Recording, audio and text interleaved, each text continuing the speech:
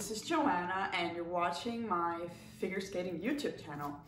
Thank you so much for coming back. Thank you for subscribing. Also bear in mind every like, every comment, it helps this channel grow a little bit. And it's just, it means a lot to me because uh, this is me sharing a very like personal story, but I'm very happy to do it because it's like, it's such a unique story in some ways and therefore um, yes you are watching the last episode of my figure skating story but this will be in two parts.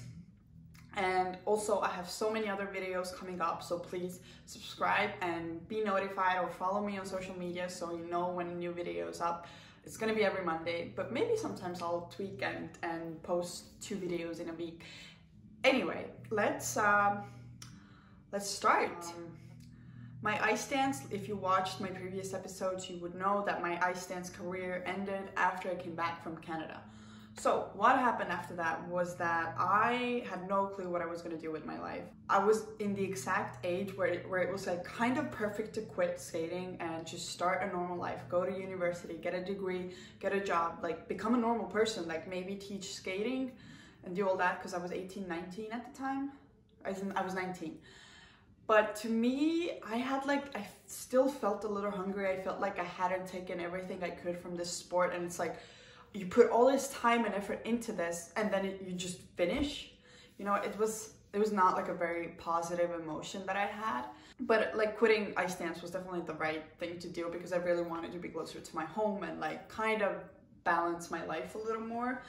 And um, back in Estonia, my mother, she got me uh, new skates because my ice dance skates were just like destroyed and like really old and not good. Plus, uh, freestyle skates are a little different. The blade is longer and the toe picks are bigger. So you get to jump better and higher and uh, because ice dancers don't jump. And it's just, there's like quite a lot of um, differences in the boots that you feel on the ice. So she got me new skates and she was like, like, why don't you just skate? Like, that's like something you like to do and it'll, it'll help you be in shape and like healthy. So here are your new skates. And I started skating like a few times every two weeks. I don't know, like it was so like irregular. I just went in when I wanted to. But I kind of enjoyed it. I like I tried a little bit some things, but I was still I'm still afraid like to jump because I hadn't jumped for five years. And uh, but there was this one time that I I was skating in Tondiraba and this girl, Elena Glebova, who actually became a coach after this, she was looking through this small window in hall two at the rink. She saw me skate and somehow we got to talking on Facebook. I don't remember exactly how who started the conversation, but it ended up being that, hey, like, why don't we skate together? Like, uh, she had only quit her career, I think two years before that, or a year even. I don't know maybe the same year. I don't know. Anyway she was like why don't you uh, come skate with me and like it'll be more fun for you and we can like see what it'll where it'll take us. And i was like yeah sure. Like I, I would love to skate with you. And we were good friends anyway. We started skating together a little bit. I started like tried jumping a little bit and it felt good. Like i was like this is nice. Like it feels good. Challenging you know? And then at the end of that year, that was 2014, I went um, on holiday and we made a deal that once I come back, we're gonna decide what I'm gonna do. If we're gonna actually form like a team that she's gonna be my coach, mentor, and I'm gonna be uh, back to single skating, you know? Uh, so I went on my holiday at the end of the year and during that holiday, I was like, yeah, let's do this. I'm still young enough. I, I feel like there's still like a small little fire burning inside me. So I want to give it a try. Okay, what happened next was that we we came up with this plan and she was like, listen, you have to go to the States because the best coach is in the States. I like I want you to go there and learn the triples. It'll make it so much worthwhile for you to go there, but there's no point going if you're not gonna be physically ready for that because that's like heavy training. Okay, got it. I needed to lose some weight, which is fine. I started training really hard, so I did lose some weight. but I was determined. I was like, I want to go to the States because that was New York. I was like, I'm not missing out on this opportunity. I mean, it's going to be expensive, so it's like no point going if you're not determined. By the time spring came, I had all my double jumps. My triples were super downgraded and super, excuse me, bad. Uh, I did have my double axel. It actually took me one day to get it back. The first day I started, I tried jumping. I tried jumping my double axel and I landed it. So I was not that bad because it had been five years since I last jumped. So it was just so exciting and I was like on a go, like let's just try more. And so in the spring we decided we're gonna go to the States for the whole summer to train there. And we flew over in June and I was just like so excited and and so into it. I was determined. Everything was so hard. I felt like I was the worst skater on the ice because I was skating with these superstars on the ice, but it really helped me be motivated. I was like training four hours a day on the ice, two hours off ice. Then when I would have the energy and time, I would like wrap plastic from all the way from here to my toes, uh, and then tights, and then sweatpants that don't let air through, like those um, um, not like this type of material, but like, anyway, they wouldn't let anything come through. So they would really make me sweat and like a sports bra. And I would go for like 40 minute run on the stadium. It's 32 degrees outside and I was like, like super happy running on the stadium because I was like, I need to, like, I want to do this. I'm so excited. I never felt better about training. There were days when I absolutely hated it. My coach there was Igor Krokavec. It was my first like real male coach and we got along well but we had this interesting like communication that sometimes we were just like like he would kick me off the ice and that was like the only coach that has ever done it. He like kicked me off the ice and then he would come back later and apologize. It was like we had this funny communication but he was great. Like he we were like i think we were having like we were at this like bar having snacks with me elena and him and he was like just casually talking. Then he goes, listen, if you don't have three triples by the end of this summer, I guarantee I'll pay your money back. And I was like, I don't even know what would be better, getting the money back for the trainings and have two triples or having three triples. Huh. Anyway, well, he ended up not having any of the money. Like he, he got all the money that he uh, asked for, which is fine. I had all my triples by the end of the summer. They weren't stable, but within three months, I managed to learn all the triples that I didn't even know how to jump before. But now I had landed each one of them clean at least once. And that was like awesome. I think, no, four triples. I didn't do a toe loop at the time, which I did do later. But at that, I think I didn't learn it at the summer. But it was just like awesome. I was so excited.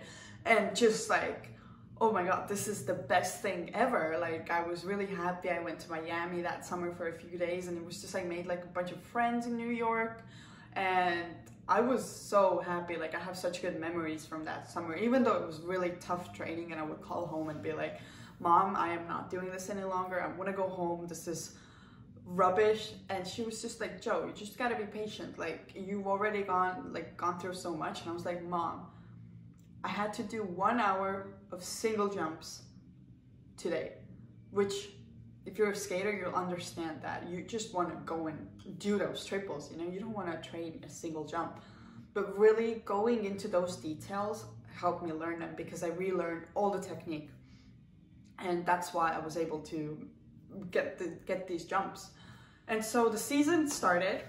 It was I did my first competition in Minsk and it was so weird because I hadn't competed in five years in single skating and it was just like I didn't have a partner on my side anymore and it was just like such an adjustment.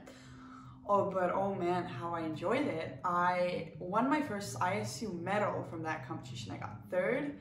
It there were not I think there were like five competitors. There were not many competitors but it was still an ISU competition and I still did really well. I was so excited and I was just like I felt like proud and I was like like grateful for this possibility that I had in my life. And um, the whole like season was great. I did another very good competition in Sofia in Bulgaria, where I also won silver medal, and I managed to get the norms for Europeans and also short program for Worlds. And uh, I don't remember which place I got at nationals. It's not even that important. I don't remember. Probably. But anyway, it was just it was a great season. Like I I was really on top of my game, and that was only because of my determination and that awesome team I had around me. Like my coach was, she was more like my mentor and my friend because we our age difference is five years, so she wasn't that much older, and she had just quit skating, and we used to train together. So I, I couldn't look at her as a, as this evil coach. You know, I looked more as she was my friend, and I could really tell her everything and I would tell her like, hey, like I can't come in today. I'm like either I was really tired or I was like, listen, my body needs some time to rest. And she was always so understanding about it. So I think that's also why everything worked out that season. But it was like I didn't even realize how how many like emotions I went through that whole season. It was such a roller coaster, and I was so happy.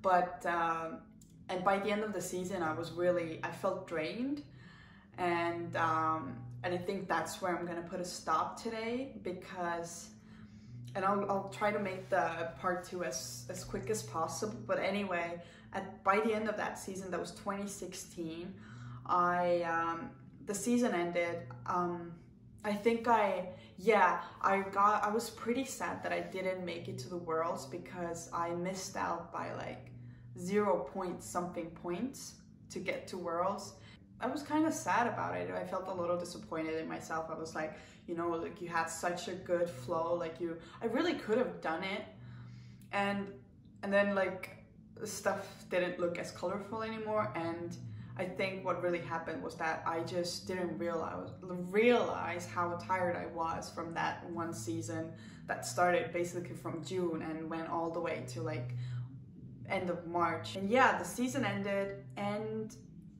and now I think it's a good time to stop this video and tell you that part two will have a different color to it and I did not want to put them put them together because it just made the video too long so come back for part two to episode four part two to hear how this story ends and how my skating career as we know it so far ends because it still goes on I'm still skating but I did stop competing um, 2017 and right now we're at 2016 so there's one more part. So yeah. so please come back uh, whenever I notify on my social media that part two is up.